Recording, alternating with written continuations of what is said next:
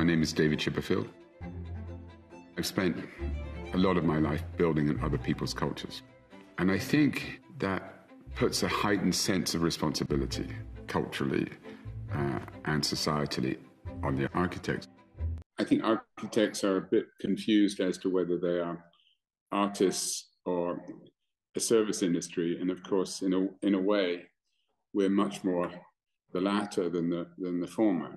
Um, uh, we have artistic aspirations and we have artistic influences and aesthetics and and um, design is uh, a very strong motivation of our work. But unlike artists, we also have a societal position. And unlike artists, we sort of have to have permission to do what we want to do. Um, an artist can paint something in the studio and he doesn't need permission to do it he probably gets hungry if he can't sell any, um, or she gets uh, frustrated if no one is interested in what they do. So there is a validation process, which is important, but uh, there's not a pre-validation, which we have to. So our relationship is much more entangled um, uh, society, and so it should be, and that's that gives us a special role, not not a, it's a stronger role in a way, not a weaker one.